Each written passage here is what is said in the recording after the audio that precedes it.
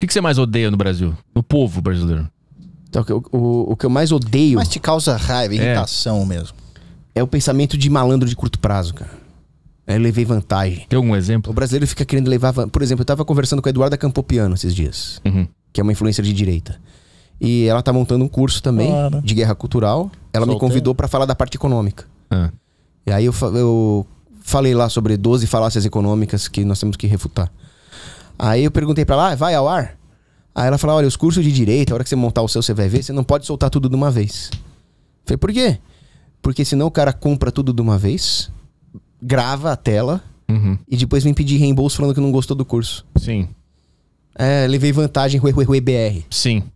Quer dizer, a, a economia vai à merda e o cara acha que levou vantagem quando nós podemos estar vivendo a prosperidade suíça se não fosse essa merda. Então, já é um povo condenado, pô. Não é condenado, nós temos uma raiz espiritual boa. Tem?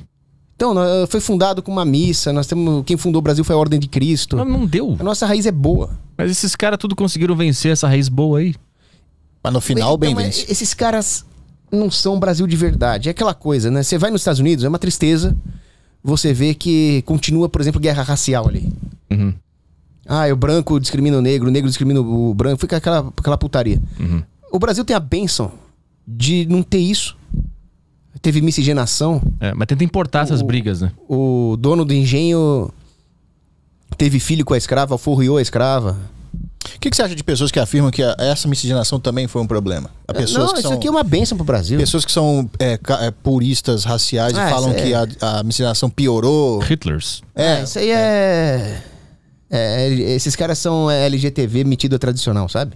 Mas é, é- cientificamente isso faz sentido? Não faz sentido. Como é que o cara vem aqui e não acha bonitinho uma indiazinha? Uma mulatinha? Qual que é o problema de um cara Ele desse? incorporou o Bolsonaro, de repente. Quando o cara. Quando o cara fala um bostaço, ele manda um sotaque do Bolsonaro. Eu já peguei essa aí no Cogos. Quero quero uma indiazinha, Chega pô. aqui, ó, indiazinha bonitinha aí, tá ok? Uma mulatinha aí, tá ok?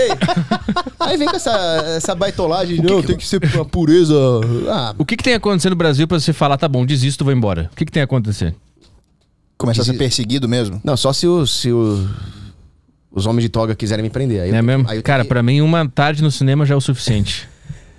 Não, Mas é o que negócio, assim, a- Toga, que eu- acima, da, acima da defesa da pátria está o fiofó. O que mais me irrita é que O além, fiofó é sagrado. Baita frase. além da, da- Acima do Brasil está meu fiofó.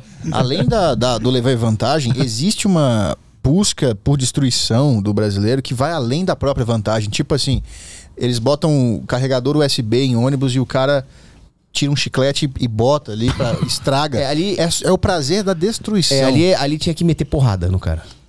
O que que é? Porque o cara fazer uma parada, fuder alguém que ele vai levar uma vantagem, gravar a tela do curso, por exemplo, eu não concordo, mas entendo porque agora tem a, o- o- a compulsão por destruição do brasileiro. Você não Van- pode ter um vandali- show no Brasil. O carro, por exemplo, ali do, do influencer lá, que era o cara ficar com o tempo ali encostado, ele É. ganhava o carro. Olha, eu falei mal dos Estados Unidos porque eles têm racismo lá, né? Hum. E o Brasil tem miscigenação. Então, nesse ponto, o Brasil ganha. 1x0 pro Brasil. Agora, um, agora os Estados Unidos vai empatar. Propriedade privada eles respeitam. Os caras respeitam e admiram o cara que teve sucesso e ganhou dinheiro, desde que seja honestamente, claro. Mas, porra, você vai nos Estados Unidos, o cara passa com uma Lamborghini lá, o pessoal, porra, that's a winner. That's a successful man, né? Aqui no Brasil, o brasileiro fica puto. É capaz de riquinho riscar lá. a Lamborghini, Ó a Lamborghini riquinho do cara. otário lá. É. Oh boy, oh boy. Ó, ó o riquinho otário lá, herdeiro, não sei o quê. Então, isso é, uma, isso é uma merda que tem no Brasil. Em vez de querer crescer, quer diminuir o outro. Então, Ele só prefere- argumentos pra gente acabar com ele essa porra. prefere s- viver na merda desde que todo mundo esteja na merda do que ele viver bem e alguém viver melhor ainda. É ridículo. E ele poder ascender a esse melhor ainda em algum momento. Pois é.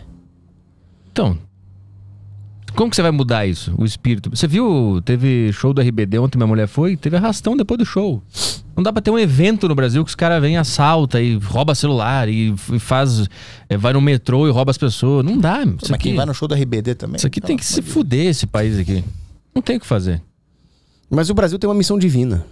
Qual? Mostrar como O é errado ser brasileiro? Bolou Não, o professor Plínio Corrêa de Oliveira, ele falava Não, muito não sobre existe a... esse cara. Você bolou agora. você inventou agora. Pô, peraí. o Brasil tem uma missão divina, você bolou, bonito. Não, Plínio de Oliveira. Aqui. Plínio Correia Missão de Oliveira. satânica que o Brasil tem. Cara, é uma biblioteca ambulante, tem citações de um monte de cara. O, o, o Cogos é um erudito, ele é um ser humano muito raro. É que o meu, minha internet tá zoada. É muito raro ter um erudito. Eu boto aqui no nosso Google. Coloca cara. aí. Professor Plínio Correia de Oliveira.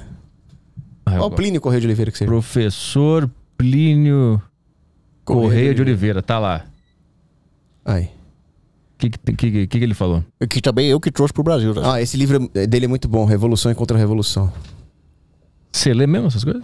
Não, esse cara eu leio. Esse Porra. cara, esse cara é... o manja. Cogos sabe Eu não leio muito não, viu? Você lê quantos livros por ano? Não, a minha, a minha questão... um por dia. Não, não chega nem perto disso. É pouco até, uns 60, assim. 60 ano? por É. dia. Não, por ano. não, não é pouco, mas Eu não- começo o ano bem, eu leio dois, três e Não, aí até- o ano vai passando e eu vou parando de É ler. um por semana, um a cada duas semanas. Às vezes, às vezes é 40 livros, às vezes é 50, às vezes é 60. Porra, mano. Mas esse... Mas, Isso é bom, hein? mas eu não leio muito. Tem cara que lê 200 livros por ano. Não chego nem perto Ah, mas é loucura. mano. Mas daí não O Olavo- tá Olavo- absorvendo nada. O Olavo falava, eu concordo com você. O Olavo falava. Você vai imitar melhor. Ah, você tem que ler pelo menos 80 livros da tua área, Parecendo porra. uma... Parecendo uma atriz lá que fuma na Olha, Globo. Eu nunca recomendei que, que você estudasse mais de duas horas por dia. Pra nenhum aluno, meu filho. Porque a partir daí você não tá absorvendo mais nada. Não, isso não é porra nenhuma. Eu, hoje em dia, depois, depois de 50 anos de estudo, eu consigo estudar 3, 4 horas ali, depois eu fico cansado, meu filho.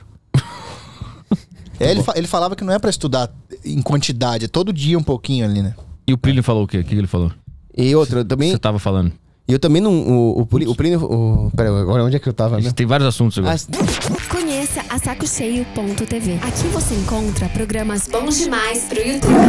Sendo assinante do sacocheio.tv, você vai ter acesso aos seguintes programas: Desinformação, ao vivo, às segundas e quartas, às nove da manhã. Tarja Preta FM, ao vivo aos sábados quinzenais, às 16 horas. Notas sobre Notas, o nosso programa musical apresentado ao vivo pelo Thiago Carvalho. E os clássicos, Cagando e Andando, toda quinta-feira e podcast Saco Cheio toda sexta-feira. Esse é o sacocheio.tv.